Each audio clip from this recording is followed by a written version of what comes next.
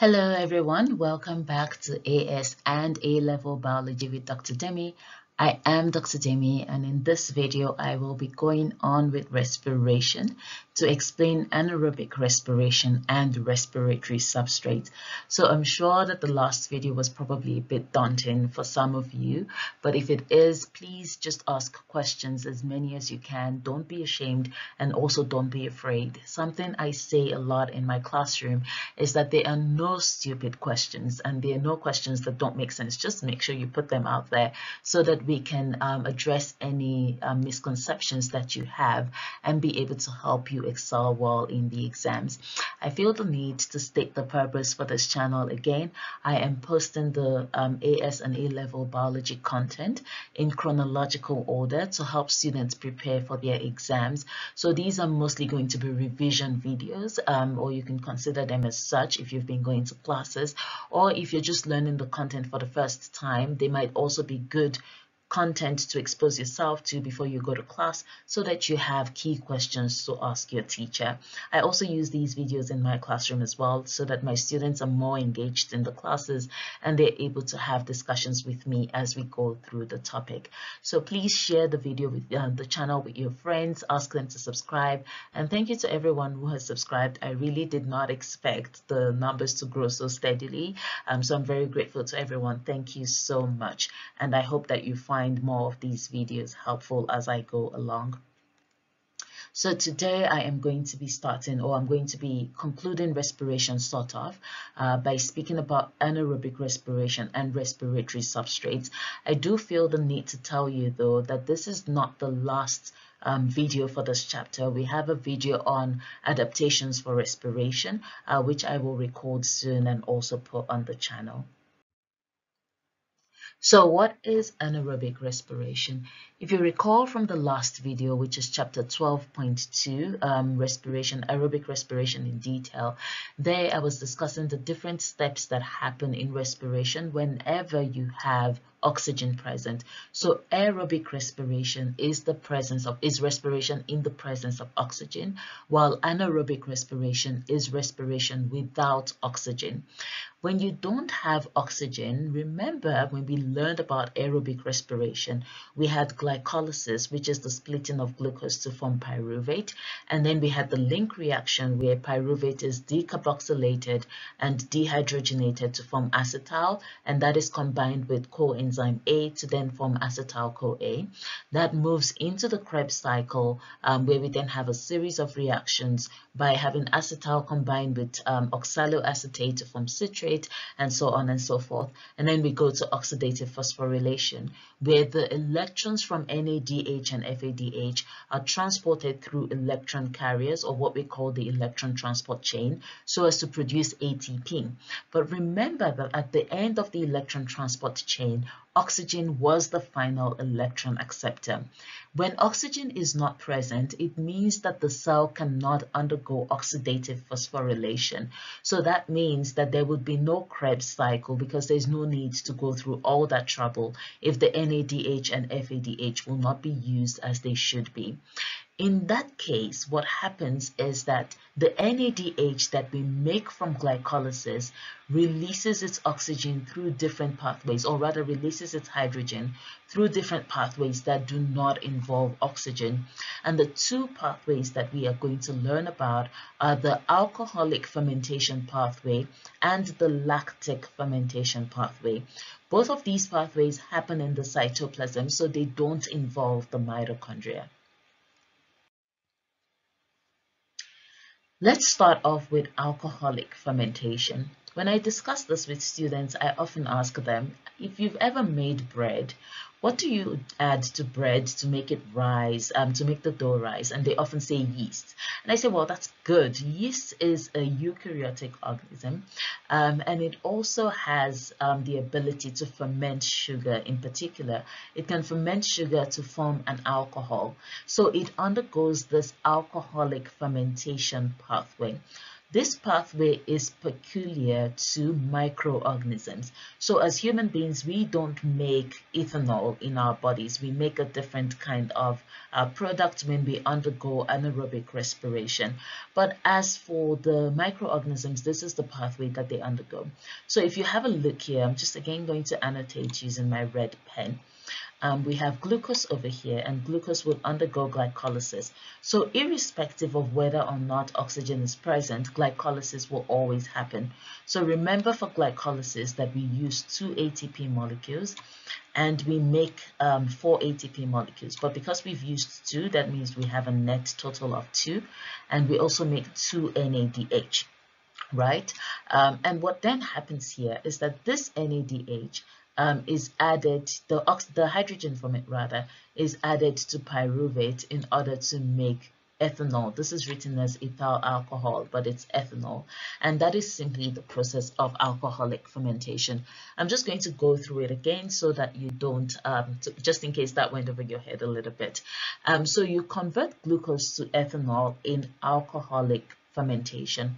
What this simply means is that when oxygen is absent, Glucose will still undergo glycolysis as it normally would, pyruvate and then it would form pyruvate, right? Pyruvate would then be decarboxylated, as you can see here, to form CO2.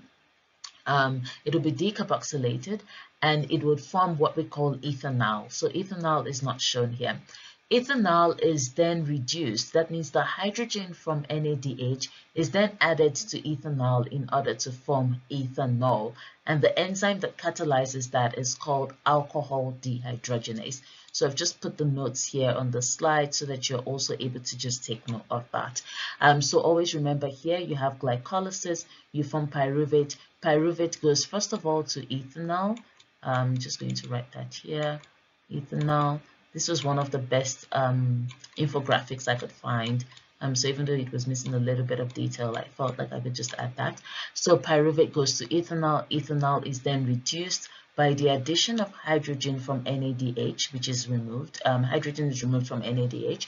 Um, so that hydrogen is added to ethanal in order to form ethanol. This is ethanol. Um, it's written as ethyl alcohol, uh, which would typically be correct in chemistry, but for biology, we just call it ethanol. And so, yeah, that is what happens in alcoholic fermentation. The result, the total ATP that you make is just 2, which tells you that with fermentation, the energy yield is not that great. So let's now discuss lactic fermentation. Like I said in the previous um, slide, on the previous slide, alcoholic fermentation is for microorganisms. So like yeast, for example, that you use in making bread um, is a microorganism that is able to ferment sugars into alcohol.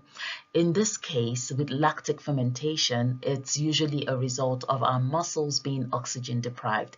So if you go for a long run, for example, at some point, um, especially when you're close to the end of your run, depending on how fit you are, you find yourself breathing really hard. Um, and that's because you don't have enough oxygen going through your muscles anymore, and your body is likely going through lactic fermentation. What happens in lactic fermentation is that glucose will undergo glycolysis as usual. Remember that I said that irrespective of whether or not oxygen is present, glycolysis will always happen. So glucose undergoes glycolysis and it forms pyruvate as expected. But what happens here is that it also makes the NADH from glycolysis and makes the ATP and all of those things. The NADH will then give, I'm just going to use my pen over here, the NADH will then donate its hydrogen to pyruvate. So pyruvate acts as the final hydrogen acceptor. It donates its hydrogen to pyruvate and in so doing converts pyruvate to lactate which is what you can see here. And this is what we refer to as lactic fermentation. Lactic fermentation, however, does not continue indefinitely. Um, it is a reversible pathway in humans. It's simply a way to make sure that we can keep carrying out our activities um, until we are able to recover.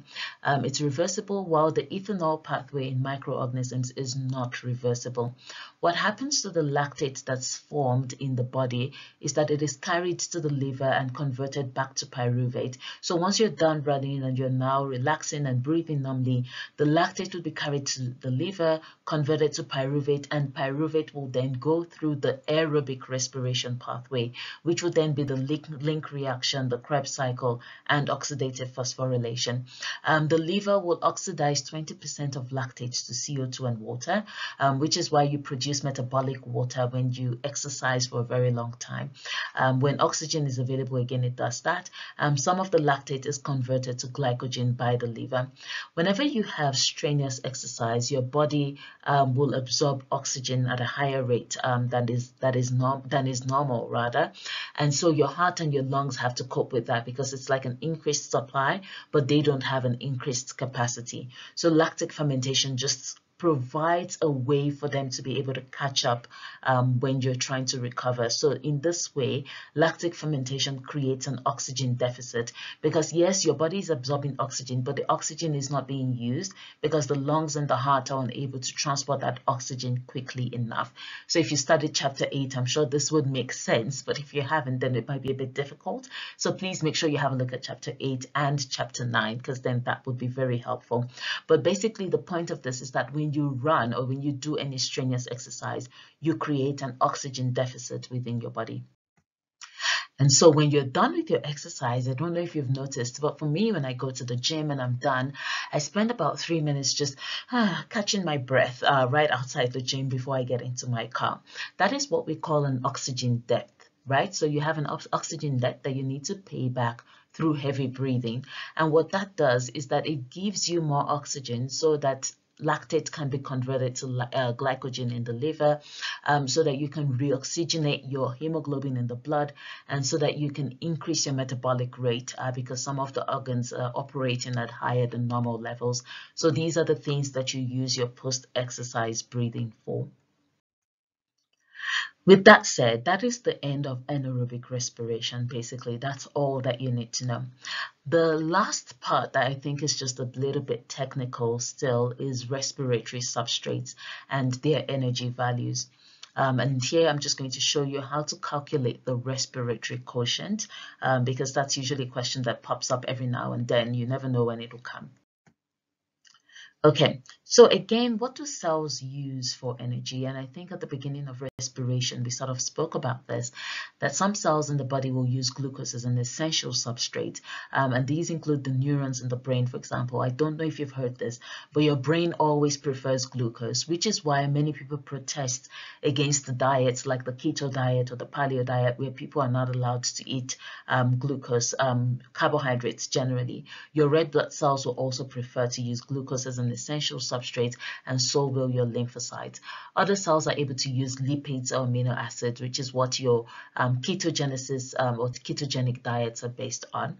Um, when lipids are used, um, two carbon atoms are removed at a time as acetyl um, and fed into the Krebs cycle. So lipids are also able to be broken down and put through the Krebs cycle. When you use amino acids, the carbon and the hydrogen are converted into acetyl or pyruvate, and then they also go through the Krebs cycle. But the question obviously is that how much energy do we get from our different uh, respiratory substrates?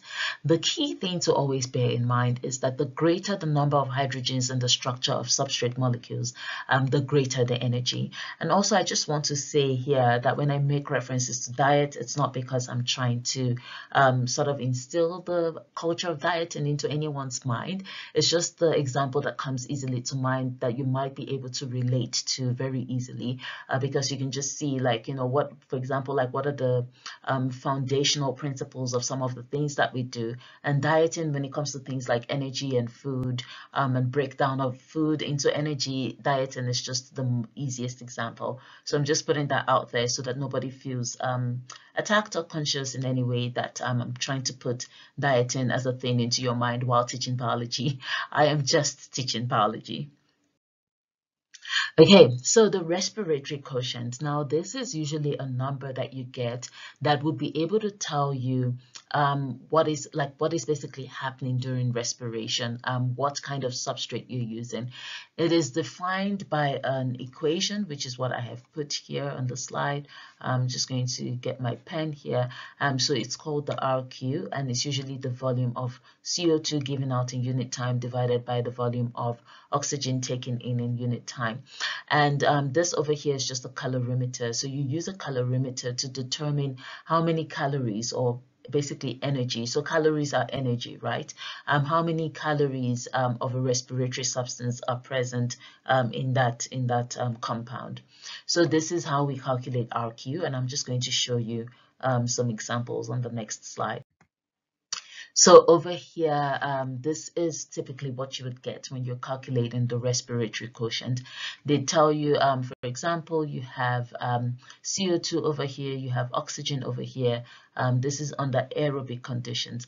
And what you typically have to do is you have to calculate the moles of CO2 to get your respiratory quotient um, divided by the moles of oxygen, just over here. And what this would give you, um, here you have 18 moles of CO2. Here you have 25.5 miles of uh, moles, not miles, 25.5 miles moles of oxygen. I don't know why I keep saying that. I don't know why I'm thinking of miles. Uh, but one thing I just want to say here, whenever you're calculating the respiratory quotient, sometimes they don't give you the entire formula. They simply give you the respiratory compound itself. So they can just give you this um, I think this is oleic acid, and they say, well, find the respiratory quotient. The first thing you'd have to do is to check that your equation is balanced. So if it's under aerobic conditions, always remember that you combine it with oxygen and you form CO2 and water. So always make sure that everything is balanced in your equation so that nothing um, is amiss with your calculations. So in this case over here, you're just going to do 18 divided by 25.5. Don't worry, this is a balanced equation I checked um, and the value you get here um, for some reason I can't um, access a calculator right now. Um, let me just see if I can find one quickly. Okay got one. So 18 divided by 25.5 is going to give you um, 0.7 um, and this is the respiratory quotient. And I'll just show you how you can tell that this is um, a lipid that you're dealing with or carbohydrate or anything like that. Now let's look at the anaerobic uh, side of things. So if you're calculating respiratory quotient for an anaerobic reaction, there is usually no oxygen as you can see here. This is just glucose over here and then you have ethanol and then you have CO2 but you still use the same formula which is interesting. Um, and most of the time by the way they don't ask you to calculate in anaerobic because the answers typically just come out the same. So again using the moles of CO2 which is 2 divided by the moles of oxygen which is 0 and the answer here is just infinity um, that's what you get for anaerobic. So again, you don't really get questions on these. But the question you might be asking then is when I calculate um, for a certain substrate in, in aerobic conditions, how do I know that I'm dealing with a lipid or um, glucose or carbohydrate or anything like that? Here you go. These are the respiratory quotients of the three groups, the three key groups that we use um, in respiration. So you have your carbohydrates, you have your lipids, and you have your proteins. As you can see there, the carbohydrates have a respiratory quotient of 1, which means that the amount of CO2 that you give off whenever you um, respire a carbohydrate is equal to the amount of oxygen that you take in. Um, and lipids, what this is basically saying is that the amount of CO2 that you give off is less than the amount of oxygen that you take in. So you have um, a factor of 0.7 and with proteins, it's very close to carbohydrates. It is 0.9. I'm going to stop this video here. I have one more video on how rice is adapted um, for respiration and I'll record that very soon. Um, but I just thought to put out respiration out there. I know some of you are preparing for the May, June exams. I don't know if I'll be able to get all the content out there on time, but I really hope that whatever I get out is helpful to you. Thank you again to those of you who have subscribed, those of you who have shared the channel with your friends. I'm really, really grateful. Again, I was not expecting the increase that I saw uh, when I checked the channel a couple of days ago. Um, so I'm really excited that this is really helpful to you. And thank you to those who have requested videos. So So I will post these um, very soon and I will also um, start with chapter 13, which is photosynthesis. I also promised that I was going to do past questions with you and I'm going to get to that. I will do some of the difficult past questions that I have come across that would be helpful to you. Thank you guys. Have a good time.